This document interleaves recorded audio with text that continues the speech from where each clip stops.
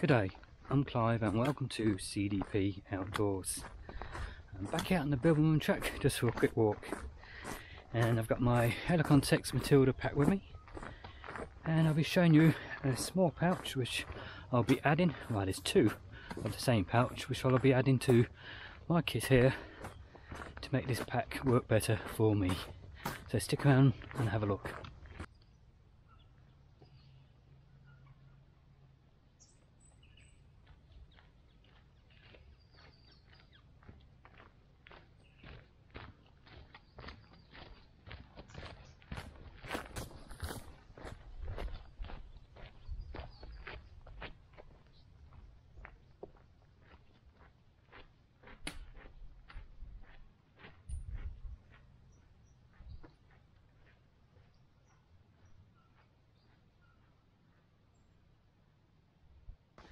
Glad I've got the sword and rack in my pack today because here's the rain.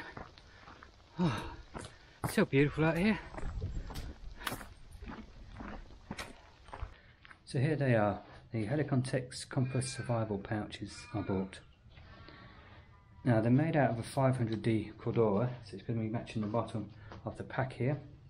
And let's read all this. We've got 20mm Woojin buckles, now these are very nice buckles. I didn't know what the WJ stood for until somebody told me the other day when I put out the request. And they say it's perfect for carrying a compass survival kit. Uh, got riveted hole for attaching a compass. Uh, we'll go through all that, I'll just read the list first, it's going to be easier. Uh, reinforced construction to secure the compass made of Cordura 500 compatible with duty belt, MOLLE and PALS, can be carried on a 50mm belt. Weight is 51 grams, dimensions 18 by 7 by 4 centimeters. Uh, material is 100% nylon, like we said it's 500D Cordura. Uh, colour options OD green, adaptive green, black, coyote, uh, black coyote brown, shadow grey or earth brown and clay. But let's get that bit of paper out of the way now and get onto the pouches. As I said, I've got the decent buckles, which I do like.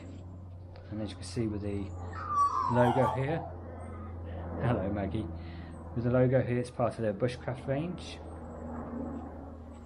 And I'll turn it around and you can see the riveted hole, which you can put, let's use this compass for now. You quarter your compass through the hole and tie it off so when you get it out, and if you let go, you're not going to lose it. You can just pick it back up and put it in your pouch again. And I've bought four different size items that may be used in this pouch with me. So we'll get to them shortly. And when I said it could be used on a 50mm belt, we have a belt loop here, which I've tucked down the back for now. Nice, sturdy, strong, good quality and like I said you've got a small pocket down the back. So if you're not using that you can just push that down in there. And there you go it's all rolled up out of the way. And then we'll come to the back where we've got the PALS or your MOLLE your webbing attachments. So I like the design of these now they've started to do because we've got this is a full one it's just a strengthener at the top and then we've got one of the webbing, a second webbing, but the second webbing at the bottom is a double one. And I do really like the idea of that. I was just checking if that one where the loop had gone in went all the way. It's not, it's actually stitched up. Getting back to this, I like the idea of this because if for any reason you put it on a two inch belt here, you can still pass that through under the top one and bring it back around on itself behind the second one. Let's take what I've got out of here, make it even easier. There you go, I've got, I've got room now. And I can just put that behind the second one. Bit awkward at the moment, just doing it from this, but you're able to put it through the second one, so when you give it a good tug, it's not going to come off, so your small pouch is nice and secure. This is a new one, so it's a bit stiff. One of my, uh, my others I've got, uh, they've been used, so that goes in much easier.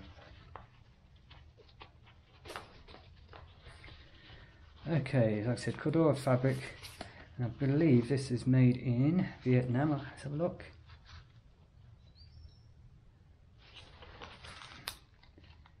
Designed in Poland, crafted in Vietnam. Yeah, ripped it off easier. It's a little tag inside. Uh, keep away from fire, main fabric 100% nylon. So let's put that down there out of the way now. It's got the adjustable buckle, so it can allow you to use different sizes, or yeah, make this different size. You can have bigger or smaller items inside. Now what I was carrying in this first, to give you an idea, is the old Spot EPIRB or tracker. And that fits in snugly. The more I use this pouch, the softer this will become. So that one fits in really nice. Lock it over. Tug the strap, that's it, in nice and secure. And again, I can tie a cord on that and pass it through the rivet so if I do drop it I'm not going to lose it and my second one at the moment I've got in here because that's going to stay in there permanent and that's going to go on my belt shortly. But in here just to show you this is done up all the way. And I think they call it the Helikon-Tex Scout fire kit. And that sits in there as if it was made to measure.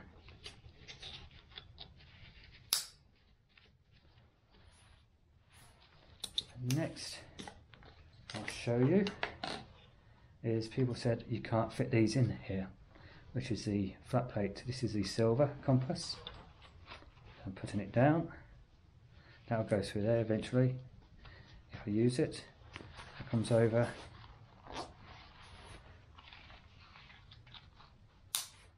Clicks up. Give it a tug. And even your plate, your silver compass will fit in there really nice. And as you can see, you can even got room for a bigger one if you want, but I'm doing that more. You've got all this space in there. Now the compass I'll be carrying in this is the, the Suunto, and is it the MC2?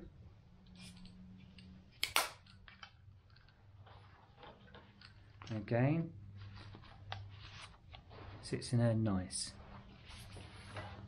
I did a cord up from out.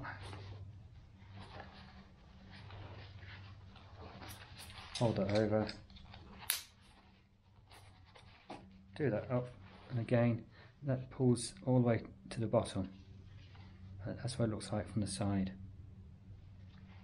So there's four options of what you can use these for. You can even make a little emergency kit out of a little bit longer tin than this and fit it in there. And where that will be going, well they will, are my hip belts. So I'll do, I'll put the first one on, which is over. And I'm going to put this right at the front because I've got another small pouch I'm going to put nearer the back. Uh, just push it through. I'm going to put it underneath the middle one here.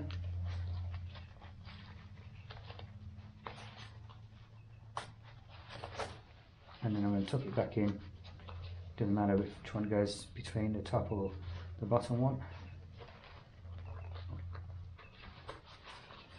And that's that one done. Now what I have on this side is normally my compass. So let's take it out here.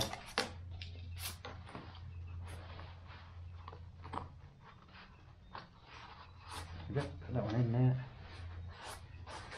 Slap that off out.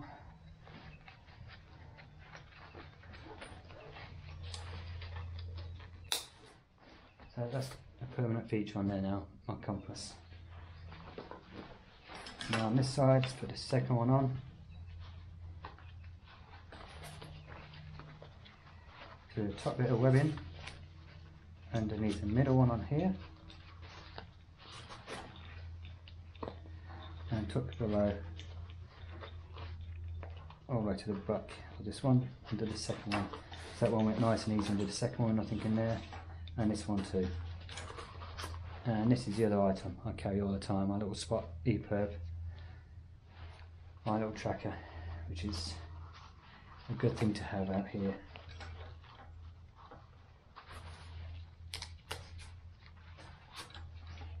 And one thing I didn't show you was it's actually double lined, so it's not just this. There's a padding, a padded second liner on the inside. You can see it here. So you are getting some quality here. They're not very expensive. I think they're around the 20, 21 Australian dollar mark here in Australia. Here in Australia. And I got these from my normal local, the Survival Supplies Australia. So I'll put a link down below to their uh, website in the uh, description box. So just go and have a click and have a look and see what you think. If you do order anything from them, I think it's coming at 75 or 76 dollars, and it's uh, anywhere in Australia free delivery. So worth having a look at. So yeah, that all goes in really nice. So I'll throw this on now, and I'll show you what it actually looks like whilst wearing it, and how easy it is to get to the pouches.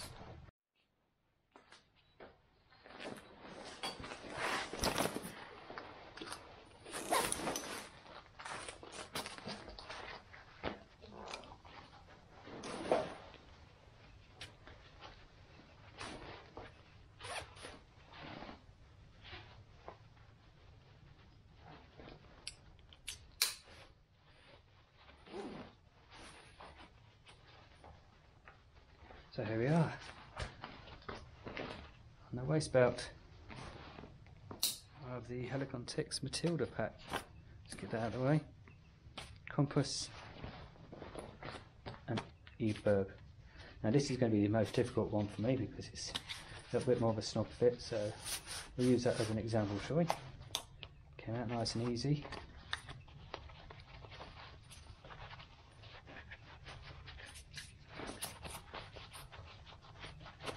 And going in slowly. Yep, nearly there. There it goes. Put it down and locked up. So there's the two, one on either side. And like I said, I've got space for another small pouch I'll be putting here. So I'll be showing you that in another video.